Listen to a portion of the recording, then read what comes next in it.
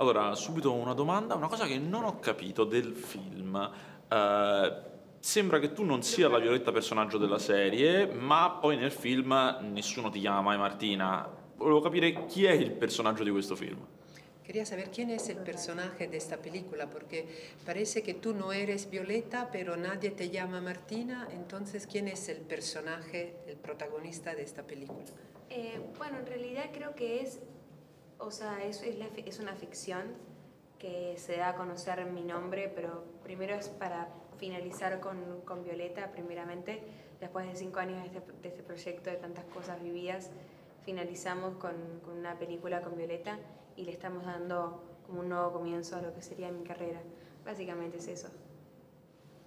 Beh, diciamo che innanzitutto è una finzione, però la, la, la prima funzione di questa finzione è di mettere, finire Violetta dopo tanto eh, progetto, dopo tanti anni di lavoro e anche dare inizio a qualcosa di nuovo.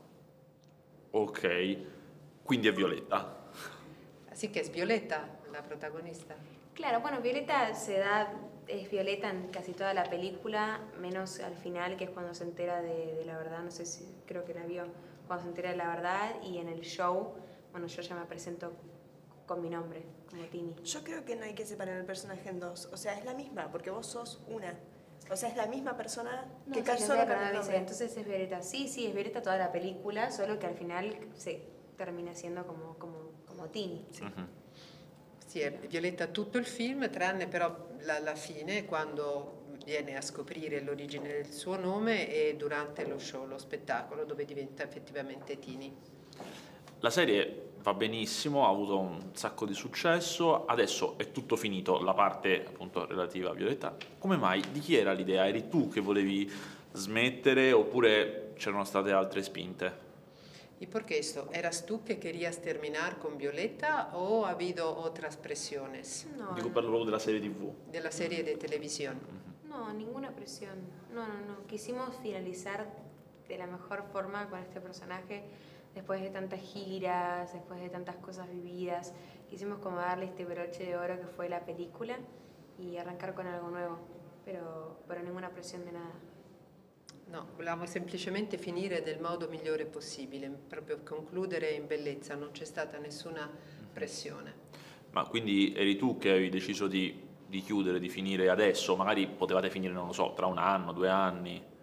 Pero tú has querido terminar ahora, hubiera sido posible terminar dentro de uno o dos años, pero tú has querido terminar con la serie de televisión. No, creo que no era posible terminar ni dentro de uno ni dos años. Eh, la serie llegó a su, fi- a, su, a su fin. En realidad ni siquiera iba a haber segunda ni tercera temporada, solamente iba a haber una temporada y se terminaba agregando el éxito que tuvo. Pero en realidad Violeta llegó a su fin porque ya no había mucho más que contar. Y aparte porque, bueno, ya habían sido, no sé, cuatro o cinco años de este proyecto y, y nos pare- no solo a mí, a, a todo el cast y a la gente de Disney, el momento perfecto para finalizar con este proyecto.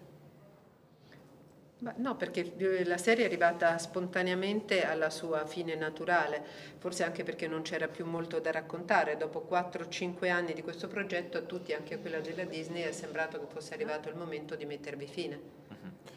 Adesso è una carriera musicale, immagino che le canzoni che farai più o meno saranno del genere di quelle che abbiamo ascoltato anche nel film.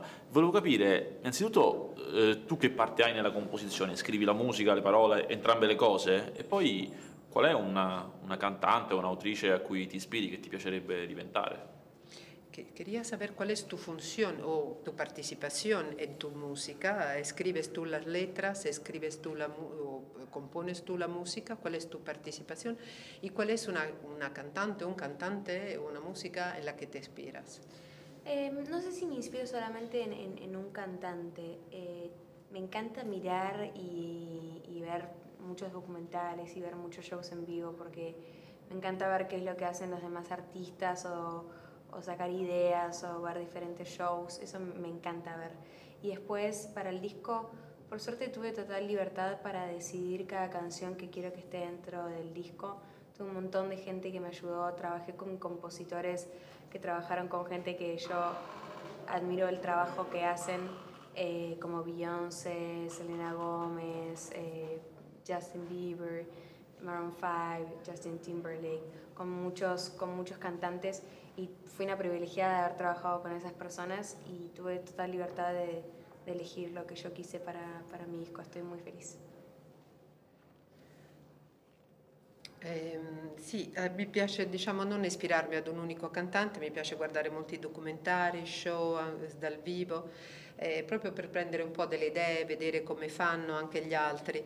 E per quanto riguarda il mio disco ho avuto grandissima libertà di poter scegliere le canzoni, anche il tempo, ho potuto lavorare con dei compositori fantastici, Selena Gomez, Beyoncé e ho avuto tantissimi altri e ho avuto questa grande fortuna di lavorare con loro.